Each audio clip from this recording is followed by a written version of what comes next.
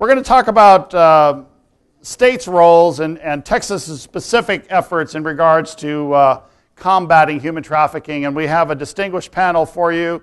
Uh, Blanca Denise Lance, we have from the Department of Family and Protective Services, talking about the role of Family Protective Services in regards to human trafficking.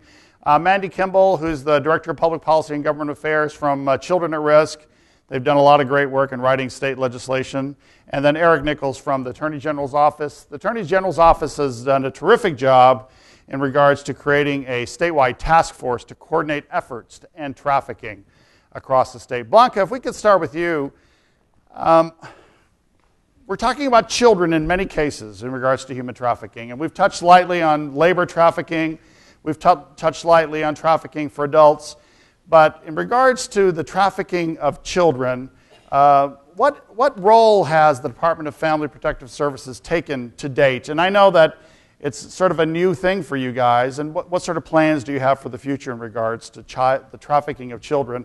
And in many times, some of these children are from out of state. Um, correct. Well, in Texas, um, can you hear me? I'm sorry, I can't Just move tell. that up a little closer to you here. Yeah. Is that better? In Texas, Child Protective Services um, has the statutory authority to investigate allegations of abuse or neglect by a person committed against a child who is um, traditionally a caregiver responsible for the care, custody, and welfare of a child. So, in general, that usually is in a familial setting.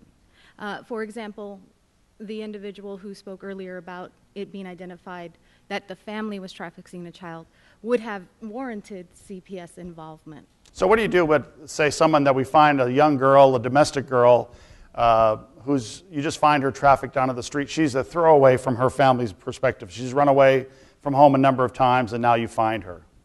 Okay, so, um, and you're saying we find her or the community at large? Law enforcement finds her. Law enforcement finds her. Well, law enforcement knows how to interface with Child Protective Services in cases in which they understand that abuse or neglect has been, you know, committed by a person, stat, you know, statutorily defined as a traditional caregiver of that child. So they would normally contact us, and um, and again, it relates to who the actual person is who committed abuse or neglect. Yeah. So it's sort of, it's almost a little loophole for us, isn't it? It's, I'm not sure I would call it a loophole. I think I think that CPS has been charged with um, working and working to preserve family units Yeah. and working to um, assist families in situations where there's abuse and neglect in a family setting.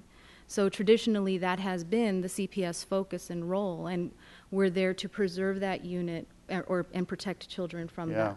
So let me press it just a little bit, Blanca, and so I Mm-hmm. Sure. apologize. Go right ahead. Uh, so, so again, if we don't have, if the family is not involved, let's say they are from out of state, or we don't know the family, or the girl's not admitting any family, I mean, that, that becomes very difficult for you guys.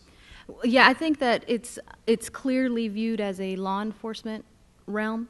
However, should details through the course of an investigation into the future, as we know in many cases in human trafficking, details are are not always readily available at the onset of first interfacing with a victim of trafficking. Mm-hmm. That it doesn't mean that subsequent information, once revealing the role of the caregiver, the traditional caregiver's role into that aspect of trafficking, if those issues or details come to light, CPS can be pulled in Yeah. down the road. Yeah. And overall, what would you say has been your biggest role in sort of the anti-trafficking effort to date, Blanca, for CPS? Uh, the, the, our, what our biggest role is Yeah. is well is in interfacing in those familial settings. Um, however, we're also actively involved with the OAG's office, um, anti-trafficking task force.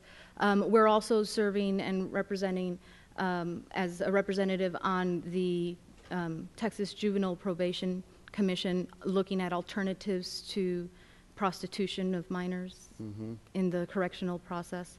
And we also serve Te- Texas Department of Family and Protective Services um, and Child Protective Services has the overseeing contract for the unaccompanied refugee minor program um, with two NGOs or um, community agencies serving a lot of the international victims that wind up qualifying for the URM program once receiving a letter of eligibility from Anti Trafficking in Persons Division at the federal level. Yeah. Eric, and from your perspective at the OAG's office, uh, and you look at uh, some of the things we're talking about with, with trafficking, especially domestic victims, uh, obviously it's sort of a new world. I mean, uh, you know, a lot more attention is currently being focused on it. I mean, is it, is it I, I'm talking with Greg Abbott not too long ago. He talked about how it seems to be, it's just come upon us very quickly. Well, it really has. If you think about the timeline, I mean, the major federal legislation, the, the Trafficking Victim Protection Act, was passed in 2000. As you mentioned earlier, Bob, the uh, first, uh, one of the first states to introduce state anti-trafficking legislation was Texas in 2003. Uh, then you fast forward to 2007 when the Texas legislature acted to uh, strengthen those existing laws mm-hmm. and also to encourage prosecution at the state level. And as a result of those efforts, uh, one of the things that the legislature did in 2007 was to commission a report through the Office of the Attorney General, which I would commend to everyone's attention if you haven't read it before. Uh, it's called the Texas Response to Human Trafficking, and it is posted on the uh, agency website, texasattorneygeneral.gov and it provides some background, Bob. It's an excellent this, report on, on, this issue. And uh, and you guys actually, were mad at us when we passed that legislation to make you do that because we didn't give you any funding. But well, it's a really good report. You know, so. there are such things as unfunded mandates, which we all have to deal with in government. but the uh, but the point is that that that uh, report lays out a framework. Uh, for efforts that Texas could take uh, to combat human trafficking and work with our federal partners in doing that. And uh, we've made, I think, some fairly significant progress uh, in accomplishing those goals, which have included the creation of the statewide task force, uh, which met in January of 2010. The, the, task force was authorized by the legislature in 2009. It met in January of this year and is scheduled to meet again next month. And that has involved a number of partners, uh, 47 task force members, uh, hundreds of participating members. Uh, so that is an effort really where you can get uh, a bunch of government agencies and NGOs together to talk about the most effective way of preventing human trafficking. Eric, and then I want to ask you, Mandy, this, the exact same question. Uh, when we talk to people nationally, they really commend Texas on the, the amount of progressive, how progressive we've been in regards to legislation. You know, we've passed a lot more legislation than most other states around human trafficking. But on a continuum, say of 1 to 10, and we know that there's still so many victims out there. Uh, where would you say we are, you know, with you know, one being we're still very early stages, 10 being where we need to be. Where are we on that continuum in terms of legislation passed and action taken? I think we're definitely, uh, I would say, probably on the uh, scale of eight in terms of having legislation on the books that could provide an effective deterrent to human uh, trafficking. Uh, there are obviously always improvements that could be made. Uh, one area that we were talking about just a little while ago is in the area of education, uh, which is something you brought up yeah. earlier too, in terms of uh, mandating education not only to law enforcement, uh, to prosecutors, uh, to social uh, workers, kind of first responders, um, but also in the area of the law. I heard a legislature legislator say this morning that they might consider enhanced penalties uh, including mandatory minimum sentences, which is, uh, which is always music to a prosecutor's ears like myself. Uh, and so there are always tweaks that can be made to the legislation. But uh, in my view, the basic platform is there because the, the legislature in Texas has been so proactive in uh, enacting anti-trafficking legislation. Yeah. So if we're on an eight with legislation, how about action regards to this? Where do you think we, we stand? I think a lot of this is brand new legislation. No, I, I, I see it from both the uh, task force perspective, but I also see it because I work with uh, prosecutors and peace officers every day who are involved in anti-trafficking efforts. Uh, we've we've come a good uh, way along. Uh, just to give you a little bit of a anecdotal story. I've talked to some prosecutors, and we actually have uh, some pro- local prosecutors here in the audience today. Um, but I've talked to local prosecutors, even folks who work on the border, who, who have told me early on, said, "Well, we don't have human trafficking in our jurisdiction. Right. I've, I've never seen it." And so, in that very jurisdiction uh, that uh, that statement was made, uh, our officers went out and uh, worked with uh, some of our federal partners along the border and discovered a situation that involved uh, domestic uh, uh, labor trafficking, which is something that I think mm-hmm. somebody's talked about. We talked mm-hmm. a lot about forced uh, uh, sex trade trafficking. Uh, but domestic labor trafficking is also a significant issue, uh, especially in a border state such as ours. And so uh, we actually found a case involving uh, domestic uh, uh, labor trafficking, persons who were actually trapped inside a home working under a situation of force, fraud, or coercion, unable to leave that home. Uh, unable to access their uh, uh, documentation for immigration status, threats made about their situation and being turned over to law enforcement. And so that was a case that we actually investigated and referred to that uh, DA's office. And so there's a there's a concrete yeah. example of how we're we're at least making progress. Yeah. We had, uh, you remind me, Eric, uh, we recently met with a large suburban district, suburban county's district attorney, and he said, Oh, we, we don't really have human trafficking in this county. And then we talked to some of his same staff who deal with children's issues, and they said, Well, actually, we have a lot of it. He, he just didn't know. And so I think that's sort of interesting that we really, the level of awareness, sometimes even in, in those district attorney's offices, isn't there. Mandy, that scale of 1 to 10, you know, we're very progressive, you know, we're doing a lot of good things. Where would you say we rank in terms of legislation and action in the state of Texas? I think that Texas has, has done a lot of great things. Um, and, and for that, I would give it a seven or an eight. But I also think that we have um, a lot more to do. So um, I'm very thankful to Senator Van de Putte and other public officials who have been great champions. Um, to Eric and Denise and Kay, who have coordinated the task force. I think um, it's very exciting and, and such a, a big job to bring the state together and, and talk about this issue. I think that raise, uh, awareness has been risen, um, but mostly on international trafficking. I think we have a lot of work to do on domestic trafficking. Um, I think, in regards to legislation, uh, we need to focus on ensuring that children are seen as victims and not criminals. I think there is quite a bit of inconsistency.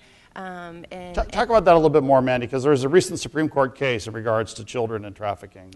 No, absolutely. And I don't want to. Um, steal Ann's thunder and, and, and, oh, and let oh, her talk yeah, about sorry, it. Sorry, um, Ann Johnson, so you can definitely hear it from her mouth. Um, but, but currently, really, what we're looking at is we have a statute that says children cannot consent to sex.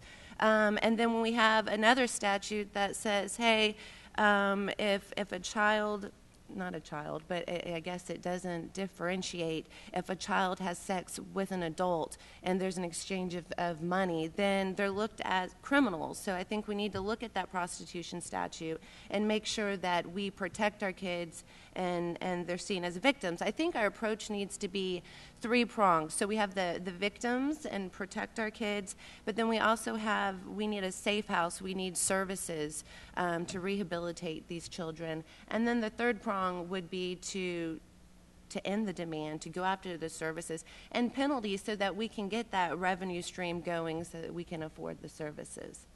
Um, in the next, in the upcoming legislative session, Mandy, uh, and the next panel, we're going to have uh, some of our public officials. Uh, Senator Van de Putte will be up here. But what are some of the pieces of legislation that you see as needed to continue this fight in trafficking to keep Texas uh, up as one of the top states to make Eric really proud of what, what they're doing there? Sure.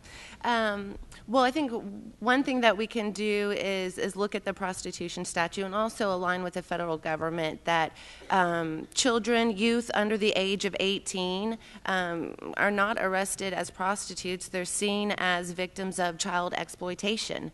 Um, I think that we could align ourselves um, and have a uniform approach, and that's why I say with the with the federal law in regards to separating out sex trafficking from labor trafficking, and in that removing force, fraud, or coercion when it comes to minors. That's just one less step that prosecutors have to go with, and many other states are doing that. Um, I also think that we can look at, at, um, at revenue streams. We need to look at third parties, uh, cab drivers, bus stops, hotels, um, and we shouldn't allow them to um, turn their head and have a, have a blind eye. We need to hold them um, accountable and liability on, on the civil and criminal, but also bring in that revenue.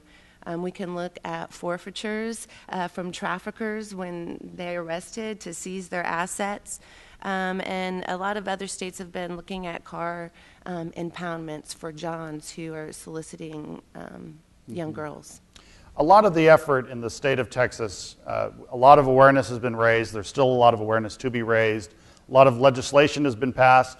There's still more legislation to be passed, but we seem to be going down the right road there. But there's a lot of effort now behind the idea of establishing safe houses. And we know that we've worked with CPS in Dallas and in Houston. They're very interested in doing that. Mandy, and then I want Blanca to talk about that a little bit. But Mandy, uh, how can, can the legislative process assist us as, as cities and counties, uh, public private partnerships start to work on this idea of doing safe houses in our state? Places where these young domestically trafficked girls can go to begin to have a normal life. Totally.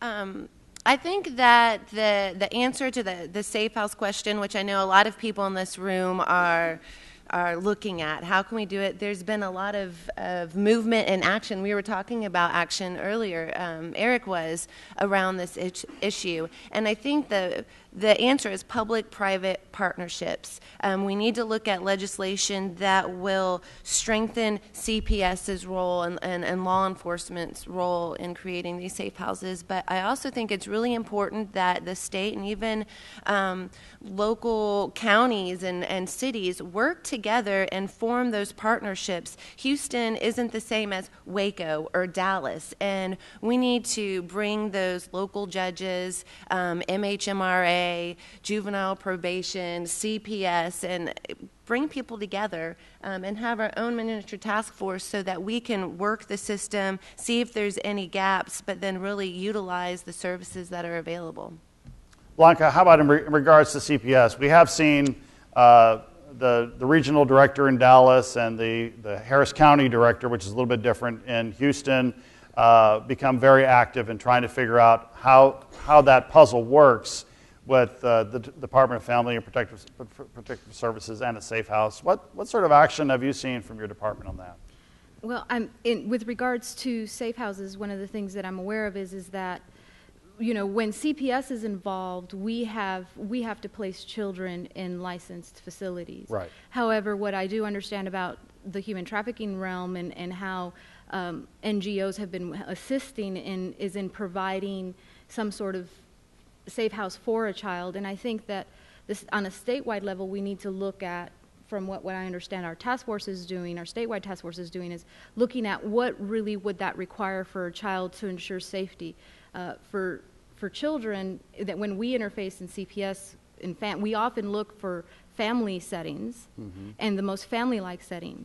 And um, for some of these cases, it's hard for some of these hard. cases. Yeah. Um, and in, in all honesty, serving human trafficking victims who may not view themselves initially as, right. as victims are not necessarily inclined to stay in particular settings. The whole idea of a voluntary uh, victim of human trafficking coming forward and saying, Save me, that, that really doesn't. Beth pointed that out, right? These are girls that a lot of us, you know, they're, they're difficult girls in many ways, and they don't want to be saved, and they think the best thing going for them is their trafficker. They're, they're in love, they think, with their trafficker. And that becomes a real problem, doesn't it, in terms of putting them in a simple uh, foster home.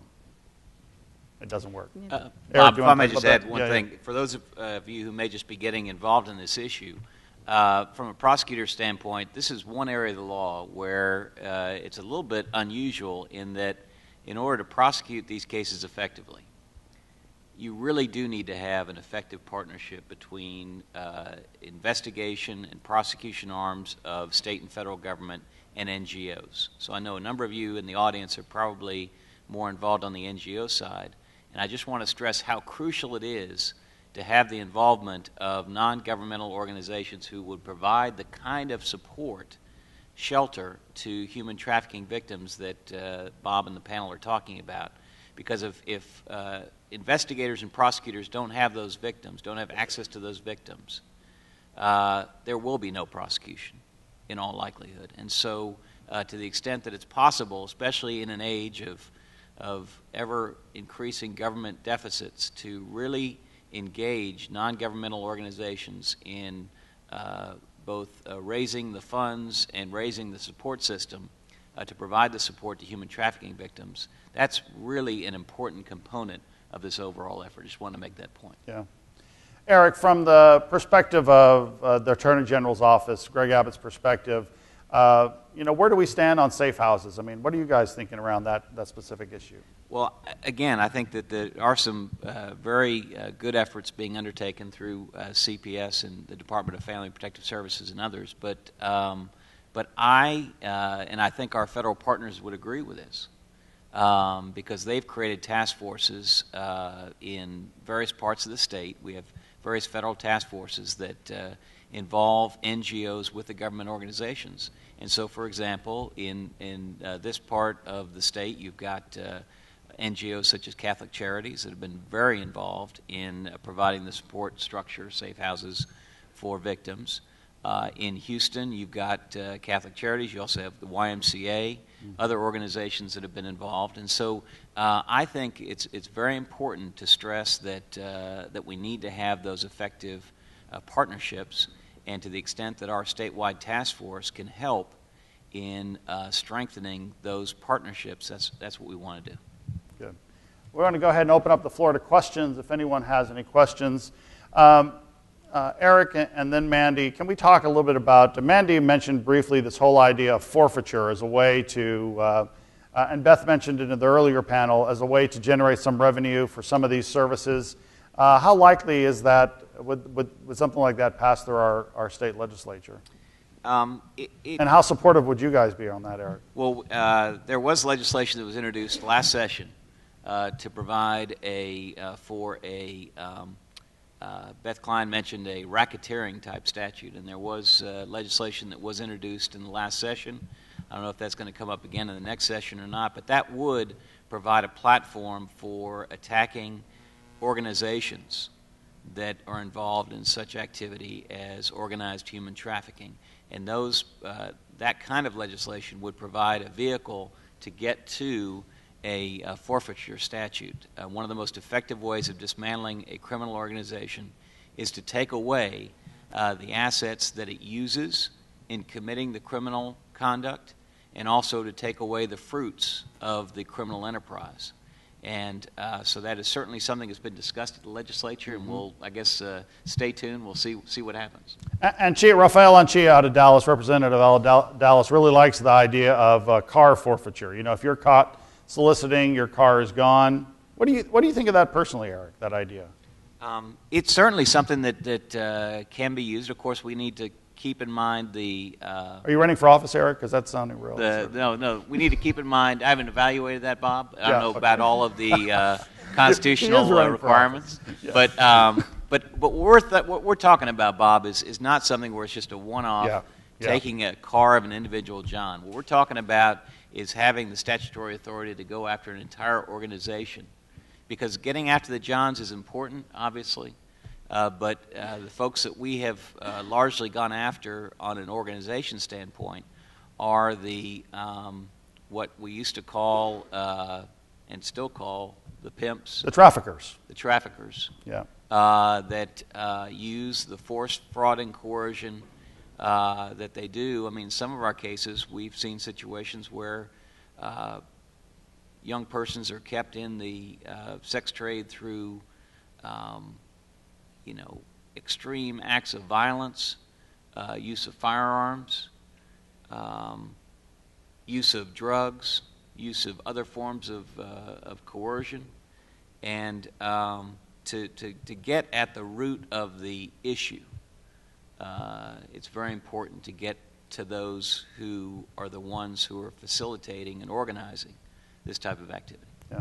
Mandy, in regards to forfeiture, thoughts in that area, what might happen, what you're thinking about? Um, I think there's definitely interest around it. I think it's um, important um, that we look into this and pursue it and push it. We need to hold people accountable um, and liable. And again, it's a way for us to generate some some revenue streams for victim services, especially on the domestic side, which um, people that look at this issue know that we're in desperate need of at the moment. Yeah. So. Question? Yes.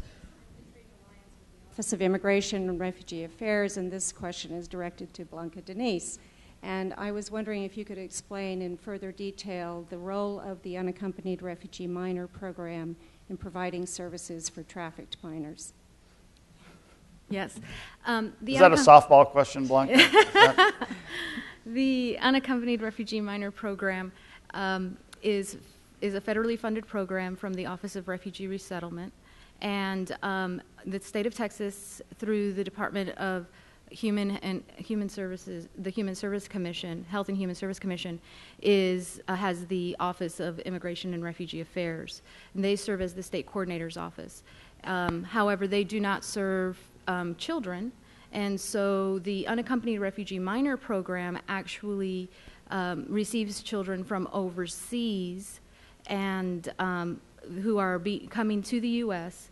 Uh, with legal authority and are able to create a new life for themselves here. Um, the TVPRA expanded uh, any child who receives a letter of eligibility as a victim of trafficking, uh, minor victim of trafficking, uh, the same rights and entitlements to that of children being served in the unaccompanied refugee minor program. So, the unaccompanied refugee minor program, uh, children who are then identified, international victims who are identified and receive mm-hmm. this letter, are able to access the unaccompanied refugee minor program. There are 19 programs throughout the nation, and just because a child in Texas may receive a letter of eligibility in Texas does not mean that the child would remain in Texas. And um, again, it's a, it's a, uh, the human trafficking, international human trafficking victims identified in the U.S. who qualify this, for this program are just one subset of the children being served in the unaccompanied refugee minor program. Okay. And DFPS oversees the contract on that. Gina, do you have a follow up on that, or are you good? I just, uh, if you could perhaps talk a little bit about the services that are provided under the URM program. Sure. Um, it, the URM program is kind of the equivalent of the CPS foster care system, but on a federal level. So um, there are case planning programs and the same requirements and service parity for that of children in CPS foster care are to be received under the unaccompanied refugee minor program. Um, transitional living services, uh, foster care settings least, least restrictive settings as needed for the child to meet the child's needs, um, case planning. So it, it encompasses a variety of services, case management services. Blanca, if um, you know, we know that if we suspect abuse, child abuse next door, you know, we call you guys. Uh, is it the same thing with uh, if we suspect that next door someone is being trafficking, a child is being trafficking, and what's the procedure for that? Well, state law requires that any anyone in, who suspects a child to be, be of as possibly being abused or neglected to report it to the DFPS uh, abuse hotline, also known as statewide intake. And this is uh, CPS's central point of contact um, for receiving reports alleging abuse or neglect and their function and their role is to determine if statutory definition in the allegations and the details being provided by a reporter meet and warrant um, the statutory authority for CPS to investigate. Um, statewide intake is not only an, a central point of intake for CPS, but also for adult protective services. So the elderly um, and disabled adult reports of abuse or neglect can go through them. Um, children in child care settings, child, licensed child care facility reports would go through them, daycare settings or residential treatment facilities.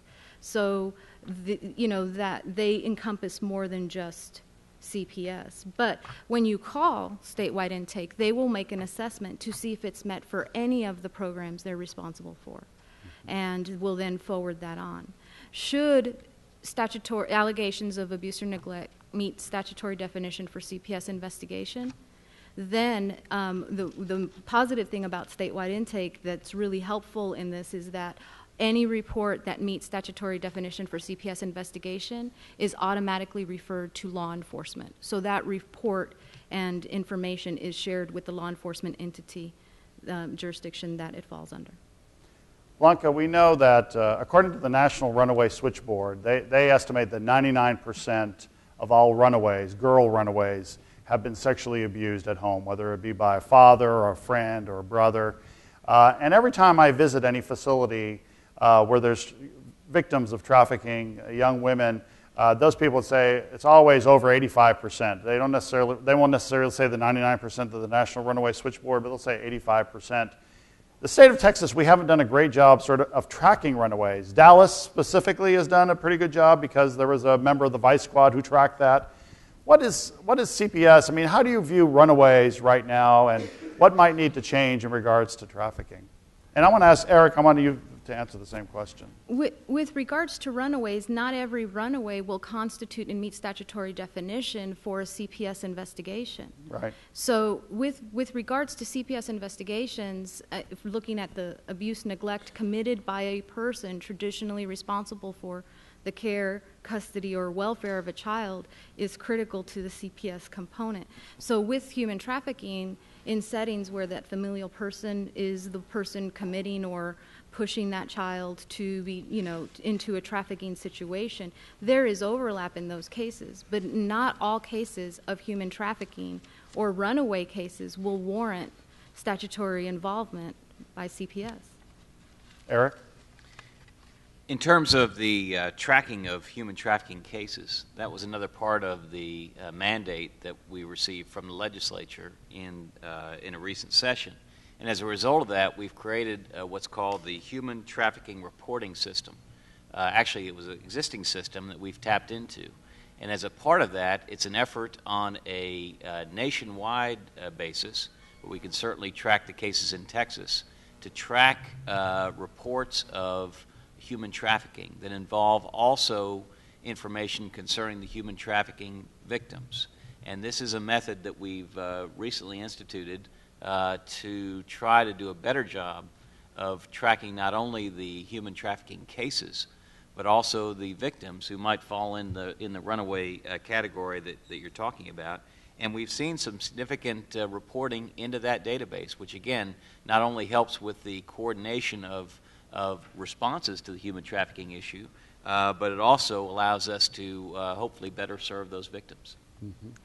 And if, if, I might add something, or talking about runaways, and this was just making me think of the previous panel, and we're not quite sure what the scope of human trafficking is um, in, in the United States. When we look at domestic human trafficking, um, studies show that one in three runaways um, will be lured into to prostitution within the first 48 hours, right? So, as a child advocate, um, children at risk, we're, we're going to different entities and we were going to Houston saying, hey, what are our runaway cases? Look at what Dallas is doing. They're tracking, um, you know, 6,000 runaways a year. How many does Houston have? And we didn't know um, because nobody was was keeping track of it. Um, and and so luckily, this I think this is another example of Houston coming together and saying, okay, what can we do to try to get our hands around the scope of, of what we're dealing with? So we have a bunch of studies, but it's just time that we start implementing those practices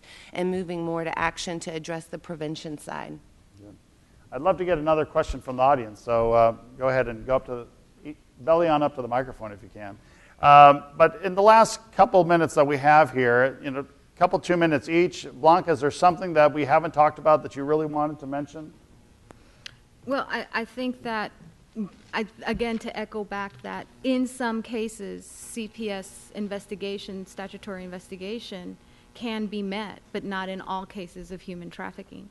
And so that, again, that partnership in working to address the issues in the places where CPS does not have the statutory authority is critical. Yeah. It seems like CPS is one of the closer organizations that's going to have to work on, on this issue. you, you've, dealt, you've done so well with so many other children's issues. It seems like that may be an area for reexamination. Mandy? I just think it's really important for us to address this issue in the three prong approach, which is recognizing that these are victims and not criminals of human trafficking, and to provide that safe house, um, be able to provide those services, and at the same time address the demand side of it. Eric? Uh, just echoing what uh, Manny just said, uh, uh, the, the federal government came up with a very effective education program called Look Beneath the Surface, and that's really what this, what Mandy's addressing is that, you know, look at a situation where you have a someone who is in a situation where she's prostituting herself, and look beneath the surface of that situation and see whether her situation has been caused by trafficking. Uh, and so uh, raising awareness uh, is something that uh, is certainly very important. It's the reason why we're all here today, while, why uh, Senator Van de Putte uh, got us put together today. And it's an area in which, again, members of the community, I can't stress this enough, in this situation, members of the community can make a difference in uh, law enforcement efforts to combat uh, human trafficking. And so we encourage you, whether it's in terms of raising awareness or whether it's in terms of supporting uh, the NGO structure that, again, is essential uh, to allowing law enforcement to combat human trafficking. Whatever you can do in these areas uh, is very much appreciated by all state and federal law enforcement officers and all state and law enforcement prosecutors who are working to combat this issue. Ma'am? Um, I'm Deborah Emerson with the Children's Protective Services. I just wanted to add that um, our statewide intake, we encourage people that if you're concerned about a child and a situation to call in. Uh, I, we don't want people trying to figure out does, does this rise to a level of child abuse or neglect, but if you're concerned, call in. When in doubt, call in. When in doubt, call in because if it's not for us, we will um, make contact with law enforcement. Sometimes we don't know. Sometimes we'll do joint investigations together. But I think it's important for the community to know if you're concerned about a child, call and let us and law enforcement figure it out. Absolutely. Thank you so much. And- Very good. Hey, I want to thank Eric, Mandy, and Blanca. You guys did a terrific job. Please give them a warm round of applause.